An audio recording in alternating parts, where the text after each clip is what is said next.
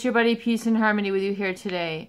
We're focusing in on a very insightful uh, topic, and that is how does the narcissist codependent and supply relationship get established? How does this really take root? How does the hook get sunk in? Well, as we know, the narcissist is exemplified by a individual with a character disorder who has a heightened sense of self superiority, uh, which means they feel haughty, arrogant, more superior to above, better than others, and then coupled with a lack of empathy, which means they're not able to feel, acknowledge, or validate the feelings, needs, wishes of another. So these two dynamics together create what we call a narcissistic personality disorder. And the narcissist will oftentimes engage in the introduction of a relationship through a process that is known or called as love bombing. And love bombing is when this narcissistic individual essentially is able to charm, seduce, beguile, and furthermore deceive others through their charm or their heightened sense of superiority and this can be based on real or unreal um, talents or accomplishments, but generally unfounded accomplishments.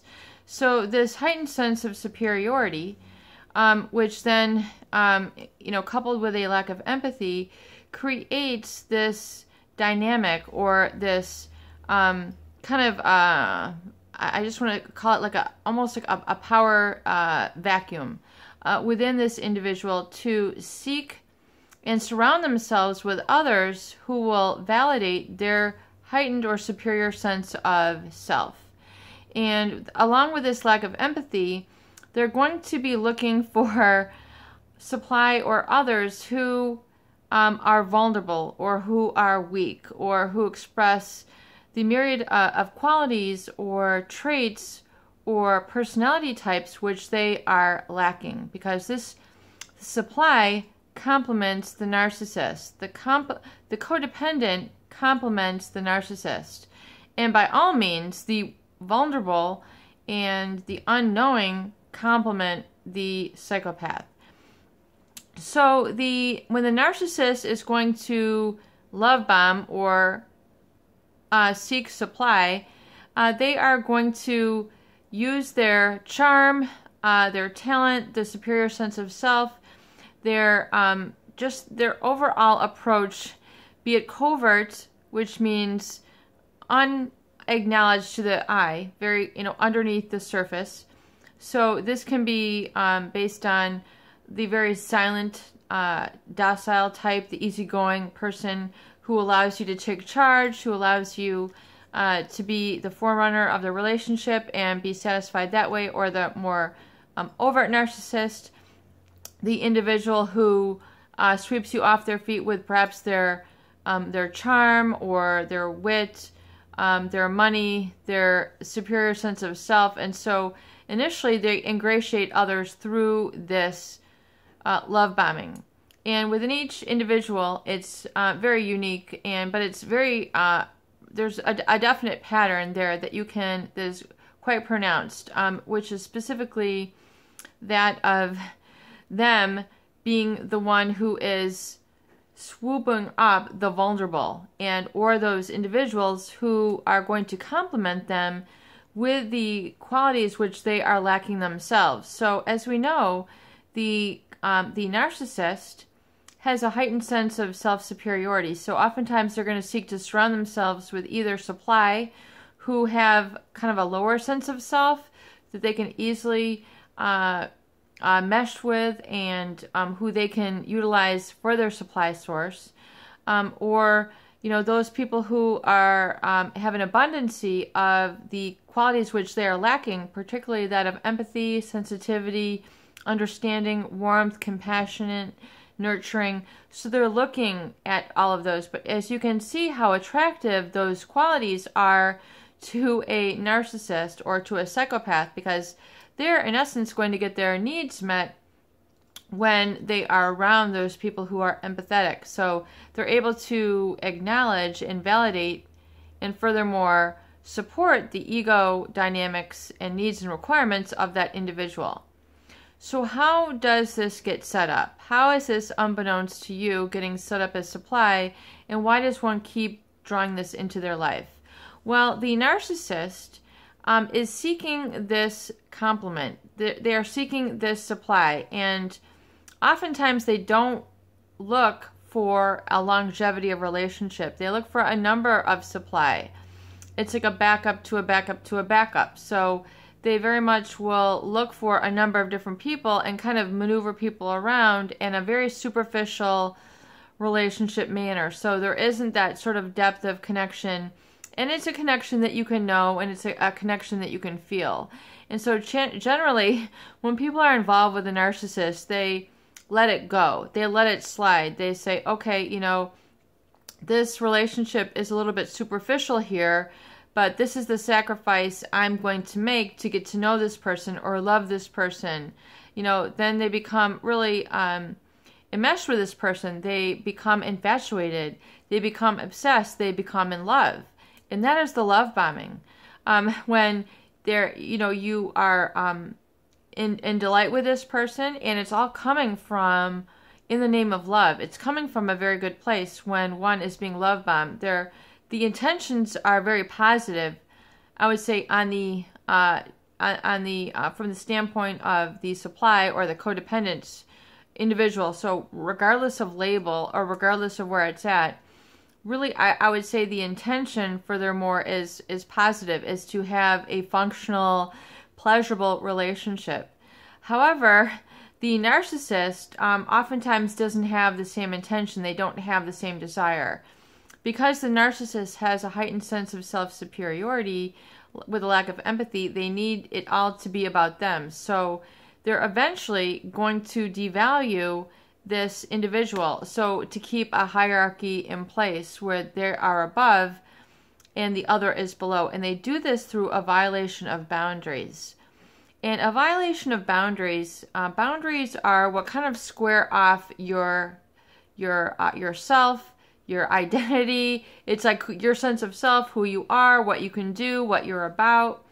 And then once you have this good sense of self, you can just go after you know you you have a confidence you have a sense of knowing you have a sense of security it doesn't get easily marred it doesn't get easily tarnished you know you you have a thick skin um, when you have a strong sense of self so oftentimes a, a individual who is targeted by these individuals is you know it doesn't always have this strong sense of self so if it's been uh, created in childhood of course, the developmental needs have not been met yet, have not been created, have not been instilled, have not been solidified, have not the needs have not been met in in that child. So they have kind of like a missed developmental stage and a uh, a uh, a developmental uh, an arrest of development or um, a developmental stage which is not met, and so that becomes kind of a, a constant obsession or a constant void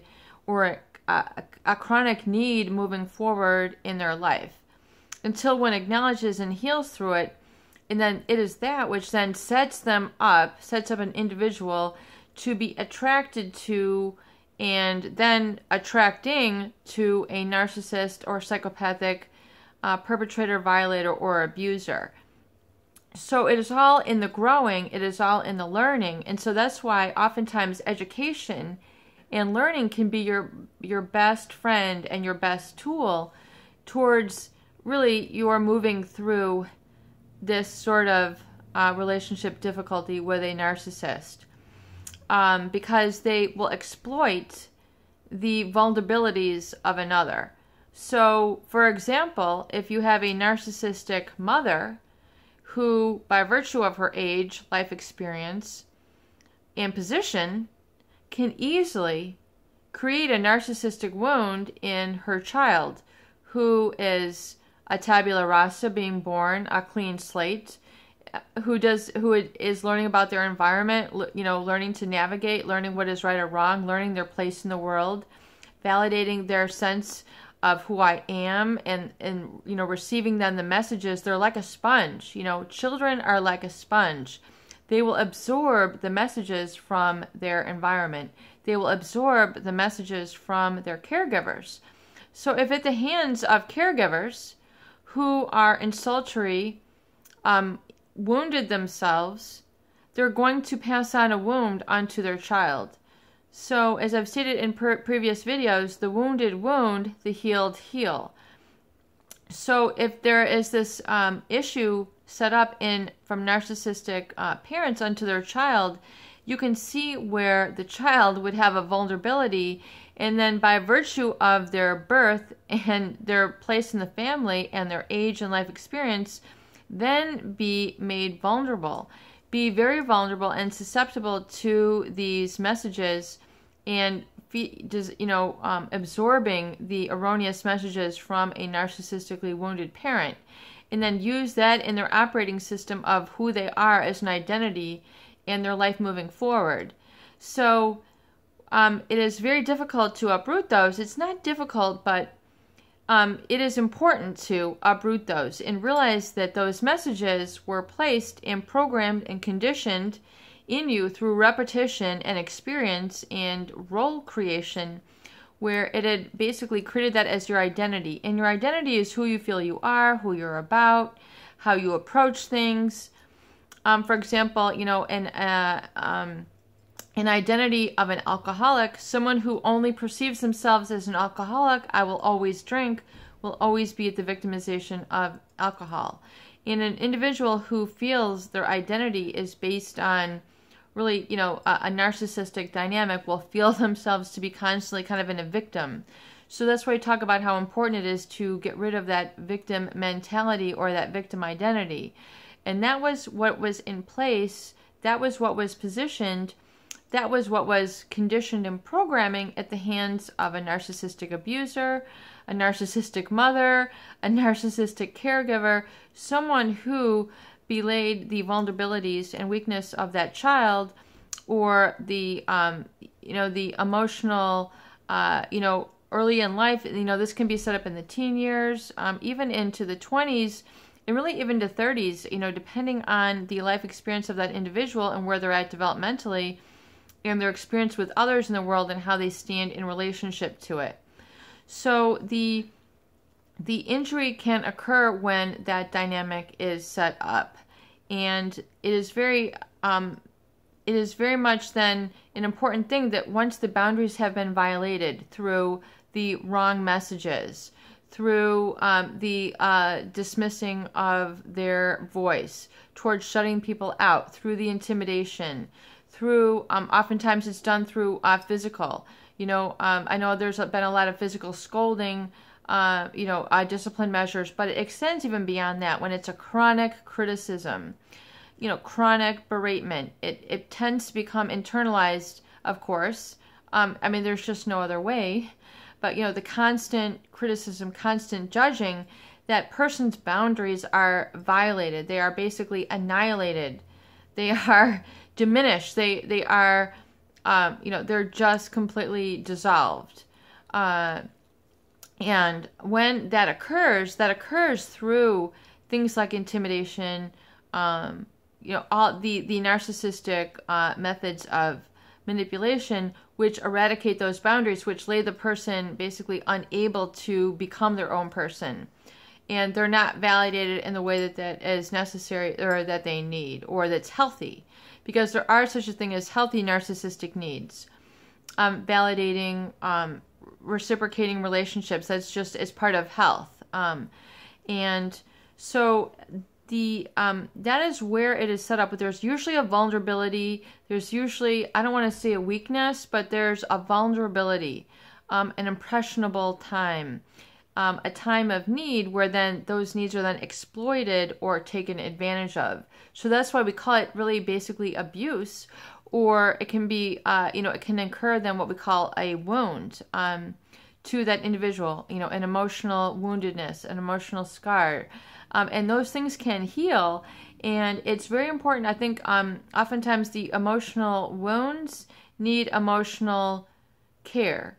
So the care is then administered through talk, through understanding, through then experiencing of new emotions and um, that helps to overwrite the neuroplasticity, creating of new emotions, new memories, and uh, uh, having things to look forward to, which create more positive experiences, which then can overwrite that woundedness and overwrite that wound and help to make it heal.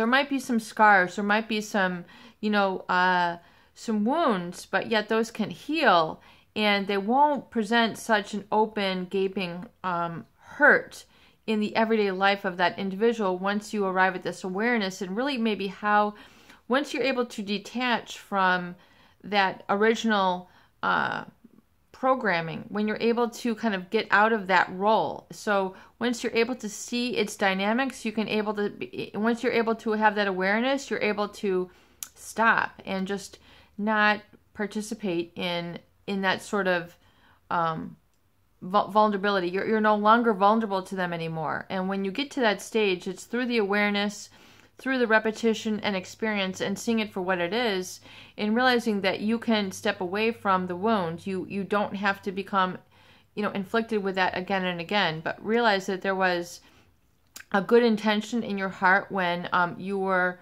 in a relationship with them and that um, there was a vulnerability uh, that was exploited taken advantage of um, and that had created or perpetuated that relationship and then furthermore created that as an identity or a role, which then goes to create um, and draw additional relationships that go to help seat that even further or solidify that identity even further. Um, and so um, it is very important to understand that that role, you can step out of that role. Um, you can retrain, reprogram, and through self empowerment, become a leader which is a new feeling and which we're going to be discussing here in future videos exactly more in depth on how to do that.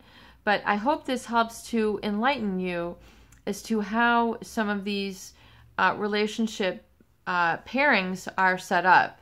And so to see that you have an active role in agreeing or disagreeing to be in a relationship with a narcissist and being their supply source and being taken advantage of. Peace and harmony with you here today. I hope these videos do help. Please share and please subscribe for more great tools, videos, discussion, and support.